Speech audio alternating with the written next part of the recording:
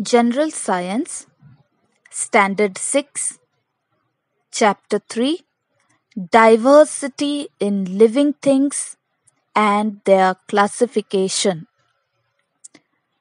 In which spheres of the earth do living things exist? The geographical conditions at different places on the earth are very different. We find that living things exist in all these diverse conditions. When we live in a certain place, we adjust to the conditions there. Various types of living things have survived because of their ability to adjust themselves to the conditions in their surroundings. Can you tell are the plants and animals that you have seen all alike?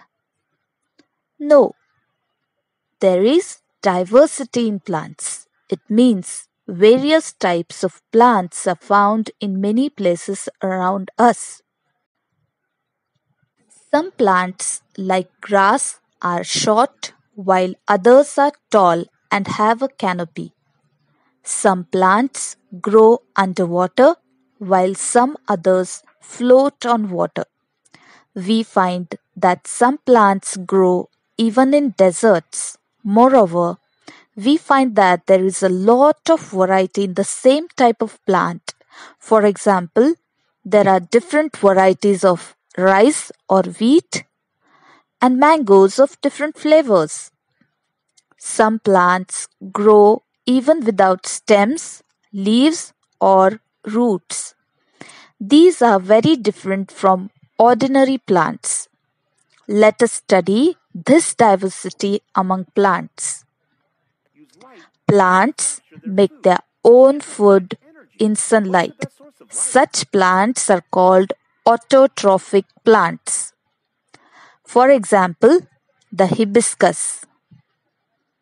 Some plants like funguses, Loranthus dodder use other plants for food and are said to be heterotrophic. Plants like the pitcher plant even consume insects. They are insectivorous. The structure of a plant. Plant structure can generally be divided into two parts the stem, which grows above the ground, and the root, which grows below the ground surface. The root, stem, and leaves are the main parts of plants. From time to time, plants bear flowers for reproduction. Flowers are transformed into fruits.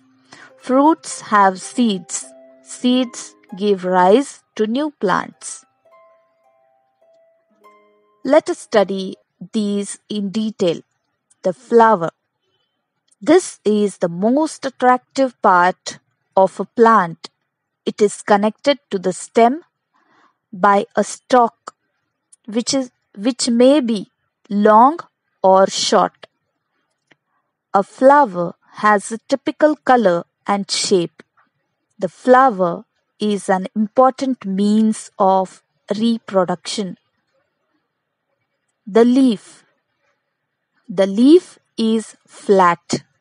It plays an important role in the production of food.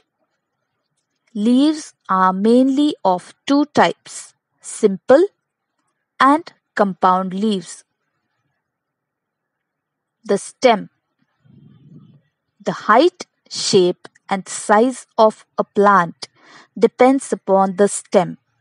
The stem carries out the functions of production, conduction, and storage of food. In some plants, it has the function of reproduction. It gives support to other parts of plant.